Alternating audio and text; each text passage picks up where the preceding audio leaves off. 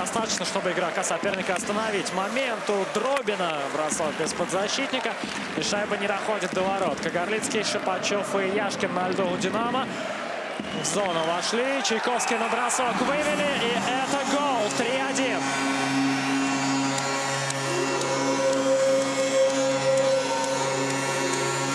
Михаил Чайковский в объятиях партнеров. Отличный бросок получился у динамовского защитника. И хозяин площадки укрепляет преимущество в этой встрече. Классно организовали атаку динамовцы. Тут э, перевели с одного края на другой, а потом в обраточку. И, по-моему, это был не прямой бросок, но вот кто? Яшкин подставил свою клюшку.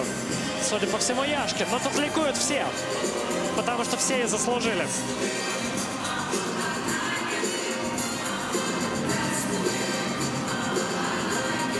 Михаил Чайковский. Но, может быть, ему сказали, что Михаил, забил ты не ты, забил Яшкин.